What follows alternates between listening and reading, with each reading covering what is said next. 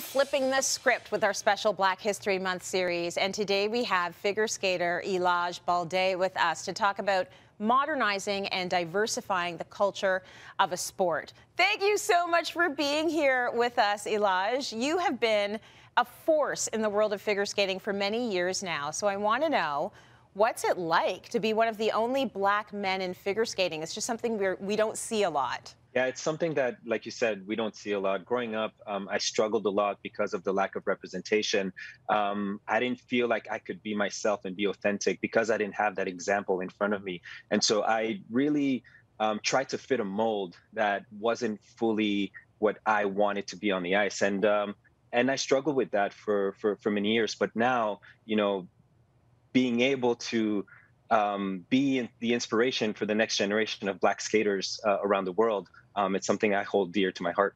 It takes a lot of courage to kind of step into that space and just be who you are. And I think that it's incredible that you've done that. And by doing that, you're changing the face of sport when it comes to figure skating. Like, how does that feel? It's incredible. It's truly an honor to be able to be one of the faces of change in figure skating. But at the same time, it can be heavy. Um, you know, you out of all people would know that, you know, being one of the people that wants to change the sport and being one of the only black people to be able to do that um, is something that can be heavy. But again it allows for this opportunity to break that mold and to step into something that can allow so many more people to see themselves um, in something that they might not have before. So there are so many uh, girls and boys and non-binary people across the country that are going to watch you and they're going to say, oh, this is for me as well. This is a sport for me. I'm a person of color. I can do this.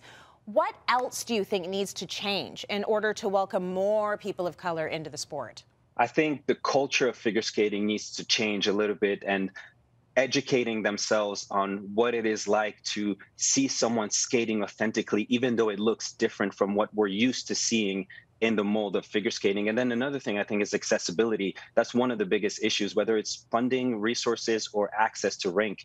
Um, figure skating is a really expensive sport, and rinks are usually in communities that um, that have the funds to have rinks, whereas underserved communities sometimes don't have uh, those rinks. And so access to rinks is, is one of the biggest issues I'm seeing.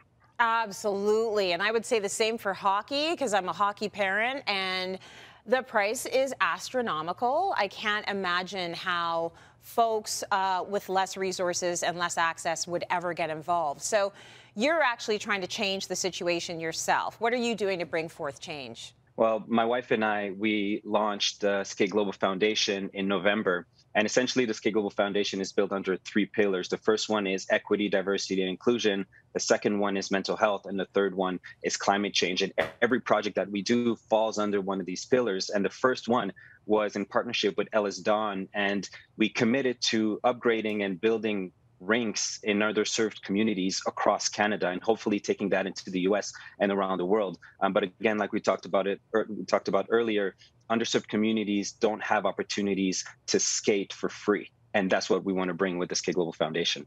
Okay, so now your videos are like, they are lit. They're all over Instagram. They're fantastic. Let's talk about how you're driving change through these diverse wild ice videos. They look so cool. Well, thank you for that. And you know, for me, the most important thing is continuing to f- find who I am as a human being so that I can share that with the world. That authenticity that I'm able to skate with allows people to connect with something that's much deeper than just figure skating. And you mix that with the beauty that we have in Canada, the nature that we have in Canada, being able to skate on these beautiful lakes with the mountains. I think the combination of that can inspire people to believe in their dreams and to know that if there isn't a path that exists for them that they can carve it themselves. And i want to inspire the next generation of black indigenous and people of color to believe in themselves in that way. Before i let you go my friend i want to know about your parents. Like i want to know were they super supportive? Did you have to fight them in order to find your place in this sport where you weren't really represented? Like how was that relationship? My parents were the biggest factor in me still being here now my mom had a relentless belief in my abilities and my father you know has spent his whole life working to help afford uh, figure skating for me and so without my parents, I wouldn't be here. And so I owe everything that I'm experiencing now to them, and I'm deeply grateful for it. Oh, that just gave me shivers. Yay, parents. Yay. I love to see that. I love to hear that. Thank you so much, Elladj. That was so good. Thank you for speaking with us about your journey and diversifying the sport of figure skating. We love that you continue to advocate for change. It is so important. So keep doing your thing. Thank you so much. Thank you for having